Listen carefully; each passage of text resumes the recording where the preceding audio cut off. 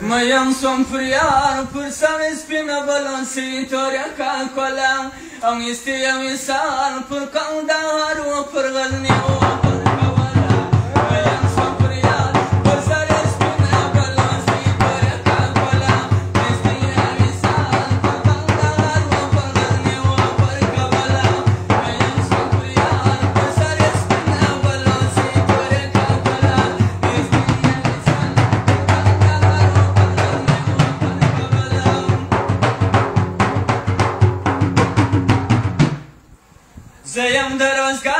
نصیب را واړولم خواته د هلمند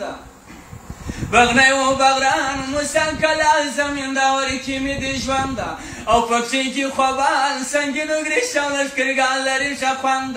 او پکچین کی خوبان سنگین و گریشان لشکرگان لری شخوند هی یو پسنگار ترو تنزل کجرگی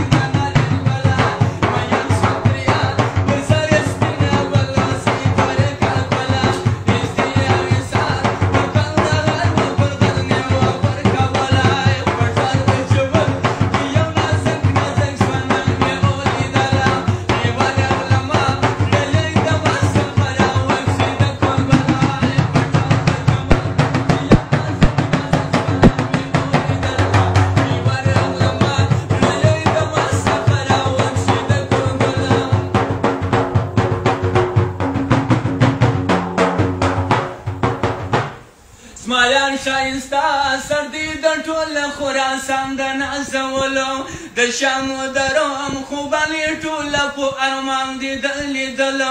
په مصر کې ستا د ګل د پار تجاران درانی ولو په مصر کې ستا د ګل د پار تجاران درانی ولو او د هند خریدار زما دلال کوم پښتو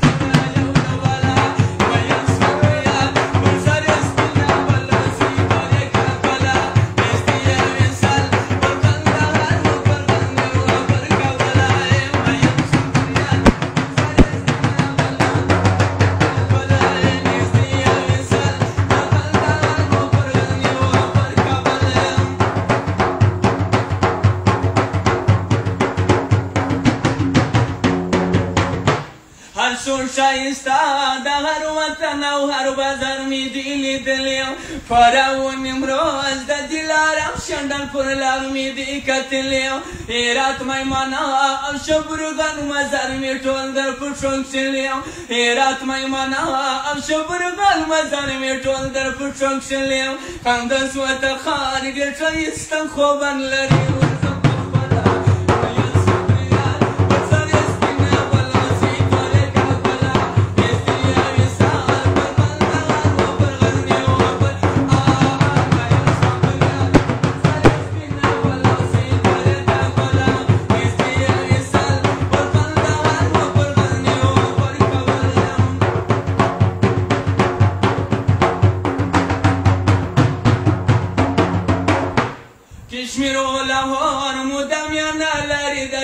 حسن وسالم پیدا بنسیم پر پاکستان او پر ایران داسی جمالم نږدې ولریم عاشقان غواړي همیشه د ده وسالم نږدې ولري عاشقان غواړي همیشه د ده وساله دغسې رخسار په سعودي عربستان کې نسته والله